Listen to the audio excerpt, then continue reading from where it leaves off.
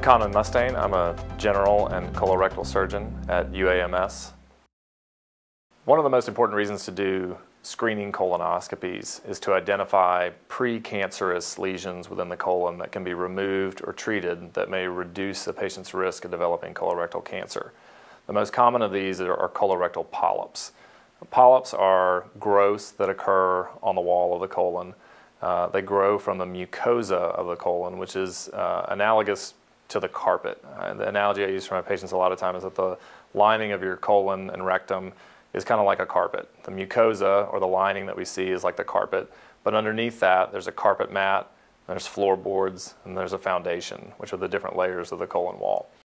Polyps grow from the carpet, essentially. Um, you know, they're a lump or a bump in the carpet.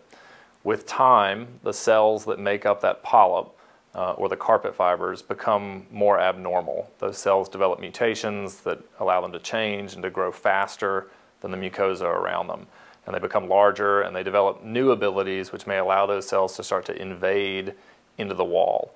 So you start to find carpet fibers living in the carpet mat or in the floorboards. And that invasion is the distinction between a polyp and a cancer.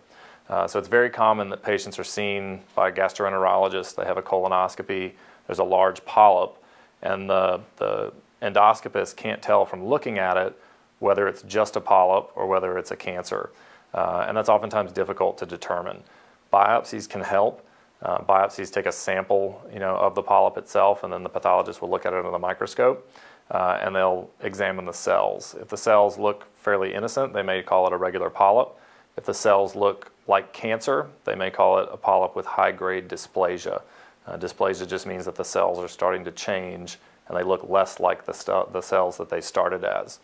When dysplastic cells or high grade dysplasia are found invading into the wall of the colon, that's the definition of a cancer. And sometimes we can't tell just by endoscopy and small biopsies whether or not a polyp is invasive. Um, sometimes we have to remove the entire polyp, um, sometimes with uh, endoscopy through the colonoscope, sometimes through surgery in order to make that determination. Uh, we try to do everything we can before subjecting patients to a big surgery to make the distinction between polyps with dysplasia or cancer, um, but sometimes we're unable to do that.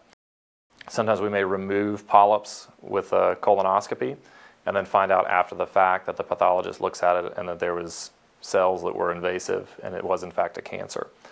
Uh, in most cases, if a polyp is invasive or if it is a cancer, uh, a larger surgery is needed in order to remove some of the lymph nodes that drain that section of colon and make sure that the cancer hasn't spread anywhere else because that will influence whether or not the patient needs any additional chemotherapy.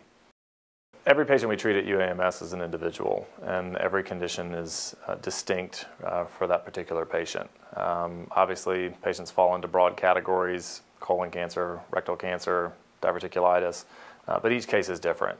And uh, I think the judgment um, is probably as, you know, my judgment I think is as important as my surgical skill in taking care of those patients. Um, there are a number of different options um, uh, for just about every condition uh, that we treat and it requires uh, careful thought and attention to detail in order to determine the right treatment for the, for the right patient.